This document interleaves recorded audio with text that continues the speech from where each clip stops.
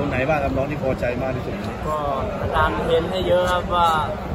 ถ้าฟูก็ผมอาจจะเป็นตัวแพ้ก็ได้ครับอืมอาจารย์ยักษ์ว่าไงบ้างพอเข้ามุมมาอาจารย์ก็บอกว่าฝีมือให้เลือกออกแข้งครับอืมเราเองก็ออกไปทำตามเกมตามแบบที่วางไว้เลยใช่ครับแล้วตรงไหนบ้างครับน้องที่ต้องรู้ว่าต้องแก้ไขปรับปรุงในก็การเล่นที่ฟุกพี่หนึ่งร้านเล็ก ที่เป็นผ่านจนเตือนแล้วก็สอนว่าห้ามหันข้างครับ ก็มันก็เคยตัวมาตั้งแต่หันข้างพอประกบในเราทำท่าจะหันข้างเงี้ยใช่ครับทำให้รูปทรงมวยมันไม่ค่อยสวยเท่าไหร่ใช่ครับเราเองก็พยายามจะปรับปรุงอยู่ใช่ครับก็ติดนิสัยมาเวลาปั้มเวลาอะไรก็ชอบเล่นอย่างเงี้ยมันก็เลยแบบติดบนเวทีด้วย แต่ว่าก็พยายามจะแก้ไขปรับปรุงอยู่ใช่คอัรันบนี้ก็ปลดล็อกให้กับตัวเองได้ครับ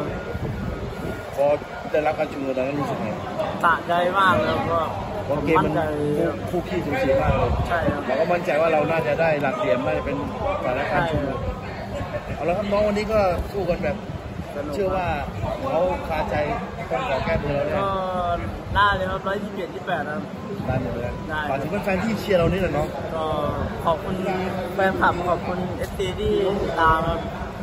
ขอบคุณครับยินดีกับชัยชนะด้วยครับน้องครับขอบคุณครับ